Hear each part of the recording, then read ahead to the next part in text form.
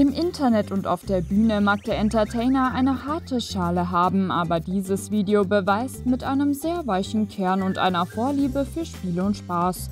Obwohl Oliver Pocher sich aus Schutzgründen nie mit seinen Kindern zeigt, konnte man schon immer erahnen, dass der RTL-Star ein ziemlich cooler Papa ist und für jeden Spaß zu haben ist. Aus erster Ehe mit Alessandra Meyer-Wölden hat der Entertainer drei Kinder, die mit ihrer Mama in den USA leben. Den Sommer verbringen die Kids bei dem RTL-Star, dessen Frau Amira und den gemeinsamen Kindern der beiden in Deutschland.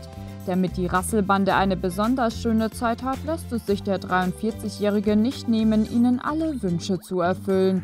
Neu auf der Liste eine eigene Hüpfburg. Während Olli an der Hüpfburg Hand anlegt, hält Amira mit dem Handy drauf. Die Kids können es dabei kaum erwarten, bis das Hüpfen endlich losgeht. Im Hintergrund hört man den süßen Nachwuchs schon ganz aufgeregt juchzen. Obwohl man sie nicht sieht, kann man sich ziemlich gut vorstellen, wie die Augen seiner Kids bei diesem Luftschloss strahlen.